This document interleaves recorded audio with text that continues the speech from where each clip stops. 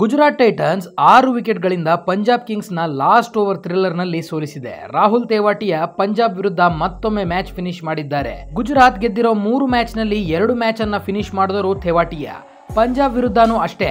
ಮುಂದೆ ball ಹಾಕ್ತಿದ್ದಂತಹ Sam ಕರನ್ಗೆ ಆ ರೀತಿ ಶಾಟ್ ಬಾರಿಸ್ತಾರೆ ಅಂತ ಯಾರು ಕೂಡ ಎಕ್ಸ್ಪೆಕ್ಟ್ ಮಾಡಿರಲಿಲ್ಲ. ಈ ಮ್ಯಾಚ್ ನನ್ನ ಪ್ರಕಾರ ಕ್ಲೋಸ್ ಕಾಲ್ ಅಲ್ಲ.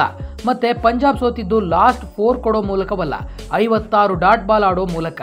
ಹತ್ತರಿಂದ ಹದಿನೈದು ಓವರ್ ತನಕ Punjab batters Rajapaksa Sam Curran ಬ್ಯಾಟ್ನಿಂದ ರನ್ನೇ ಬರಲಿಲ್ಲ. ಓಡಿಐ ಮ್ಯಾಚ್ ತರ ಫೀಲ್ ಆಗೋಯ್ತು. Mohit Sharma what a comeback is and true inspiration ಅಂದರೆ ತಪ್ಪಿಲ್ಲ. ಎರಡು ಸಾವಿರದ ಇಪ್ಪತ್ತೊಂದರಲ್ಲಿ ಸರ್ಜರಿ ಬಳಿಕ ಇಪ್ಪತ್ತೆರಡರಲ್ಲಿ ಇದೇ ಗುಜರಾತ್ನ ನೆಟ್ ಬೌಲರ್ ಆಗಿ ಆಡಿದಂಥವರು, ನಿನ್ನೆ ಮ್ಯಾಚ್ನಲ್ಲಿ ಇಂಪ್ಯಾಕ್ಟ್ ಮಾಡಿದಂಥ ಪ್ಲೇಯರ್ ಇವರೇ. ಪಂಜಾಬ್ ಲಾಸ್ಟ್ ಮ್ಯಾಚ್ನಿಂದ ಮಿಡಲ್ ಆರ್ಡರ್ನಲ್ಲಿ ಎಕ್ಸ್ಪೀರಿಯನ್ಸ್ ಕಡಿಮೆಯಾಗಿದೆ ಅಥವಾ ಓಪನರ್ಸ್ ಆಡಿದರೆ ನಾವು ಆಡ್ತೀವಿ ಅನ್ನೋ ಮೈಂಡ್ ಸೆಟ್ಟಲ್ಲಿದ್ದಾರೋ ಗೊತ್ತಾಗ್ತಿಲ್ಲ. ಒಟ್ನಲ್ಲಿ ಮಿಡಲ್ ಆರ್ಡರ್ ಬ್ಯಾಟಿಂಗ್ ಇಂಪ್ರೂವ್ಮೆಂಟ್ ಆಗಬೇಕಾಗಿದೆ. ನೂರ ಐವತ್ನಾಲ್ಕು ರನ್ ಚೇಸ್ ಮಾಡೋಕೆ ಬಂದ ಟೈಟನ್ಸ್ ಮೊದಲು ಟಾರ್ಗೆಟ್ ಮಾಡಿದ್ದು ಪವರ್ ಪ್ಲೇನ.